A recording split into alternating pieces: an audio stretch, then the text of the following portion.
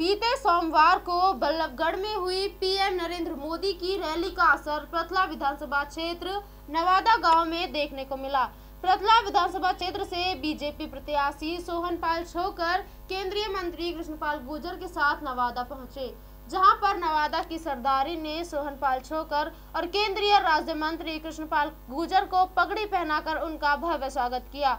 साथ ही रवादा गाँव की सरदारी कार्यक्रम में पहुंचकर वे संदेश देने की बात कही। उन्होंने कहा कि आने वाली इक्कीस तारीख को वे बीजेपी के पक्ष में वोट डालकर सोहन पाल छोकर को चंडीगढ़ भेजने का काम करेंगी। देखिए, आप देख रहे हैं लोगों में जिस तरह का जोश और उत्साह है।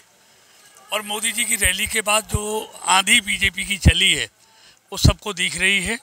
और इस बार फरीदाबाद लोकसभा की नौ की नौ सीटें, भारतीय जनता पार्टी जीतकर आदरणीय मोदी जी अमित शाह मनोहर लाल जी की झोली में डालने वाले हैं। अपने बागी जो नेता है उसके बारे में क्या कहना चाहोगे? देखिए मैं बागियों के बारे में कुछ नहीं कहता। ये तो जनता फैसला करेगी कि बागी के साथ रहना है या साथी के साथ रहना